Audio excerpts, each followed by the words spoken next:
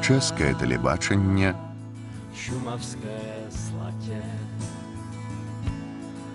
прадстаўляе серыял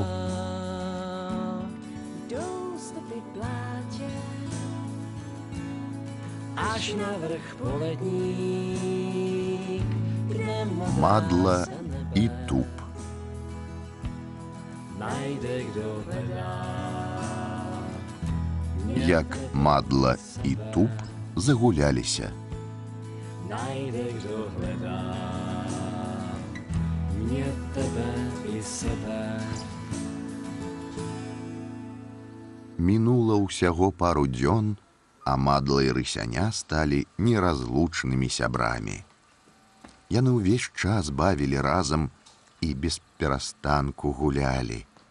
Як гулялі, часам іхнія гульні здаваліся небяспечнымі, але толькі на першы погляд. Іх кусанне, глэманне і драпанне ніколі не ператваралася ў бойку. Кожную раніцу яны залішам хадзілі ў лес. Спачатку Аліш вадзіў мадлу на павадку, каб яны з рысікам не заблукалі. Але новы сябра нікуды не спяшаўся.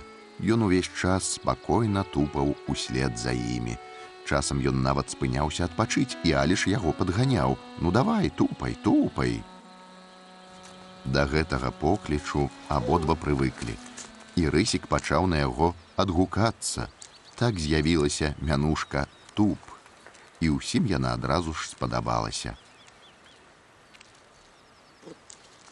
Больш за ўсё туп і мадла любілі хадзіць да крыніцы па ваду. Тады не трэба было нікуды спяшацца і можна было ўдосталь нагуляцца, напрыклад, у хованкі або ў даганялкі.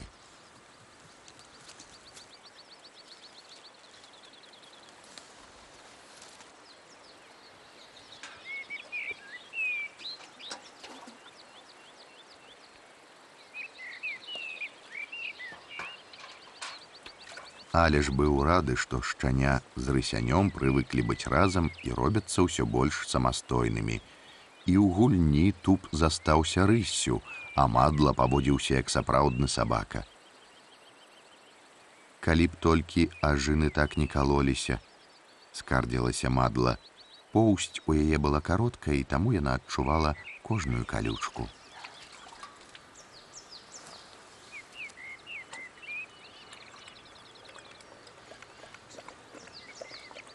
Змарыўшыся ў гульнях, яны адчувалі вялікую смагу. Няма нічога лепшага за чыстую крынічную ваду.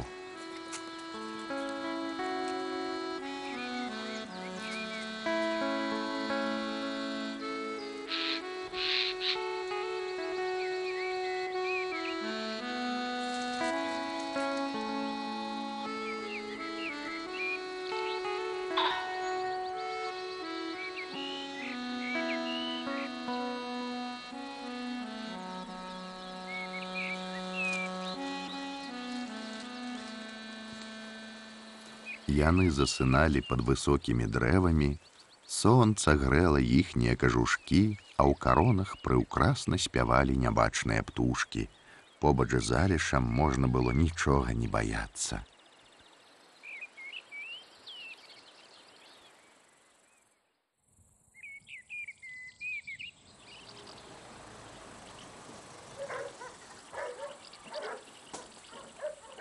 Дні ўцякалі, як вада ў горным ручаі. Аднойчы пад вечар Аліш прыехаў у яварну. Спыніўся на ўскрайку вёскі перад брамай старога касцёла, а мадлу ступам пакінуў у машыне.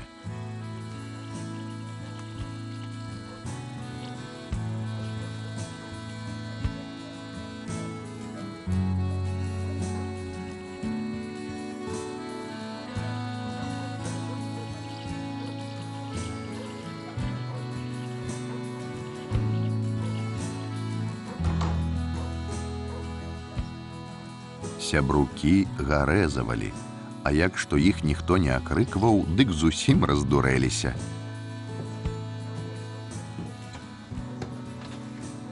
Алеш падымаўся па лесвіцы пад самую страху. Праз малыя акенцы сонечныя промні не маглі прабіцца ў цёмныя куты касцельнага гарышча, нашто ён сюды прыйшоў. А тым часам мадла ў запале гульні адчыніла ў машыне акно. Яна крыху завагалася, а потым выскочыла. Натуральна, што і рысяня скочыла следам за ёй. Яны пачалі гуляць у даганялкі і нават не ўцямілі, што аддаляюцца ад машыны.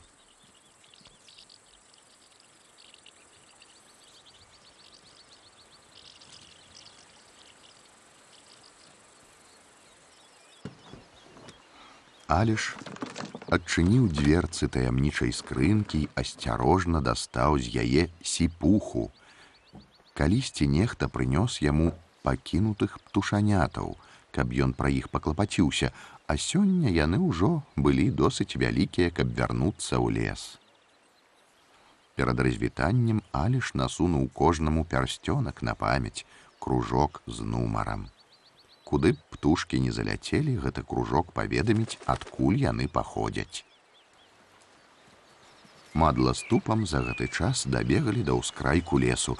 У запале гульні яны нават не заўважылі што засталіся адны. Аліш апошні раз агледзеў кожную саву. Тут вам павінна спадабацца на гарышчы касцёла вас ніхто не будзе турбаваць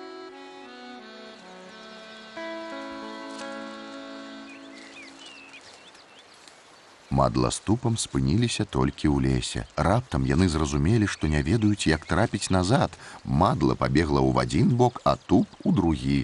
Урэшце яны згубілі адно аднаго.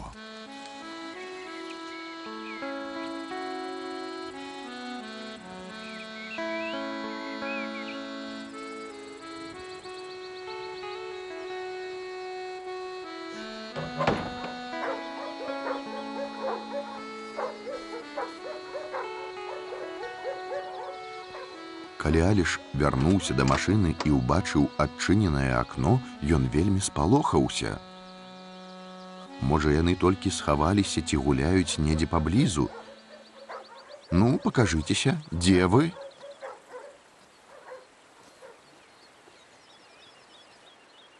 Мадла, туп. Адказвала толькі рэха. Pejsek, co vlčí a kámoš je ticho šlap. Kdo pak a kde na ně čeká, doby jim domů ty káp. Ve stínu a puchu, vysí to ve vzduchu, kdo si to brousí dráp. Fenka a kocourek rysí, madla a ťap.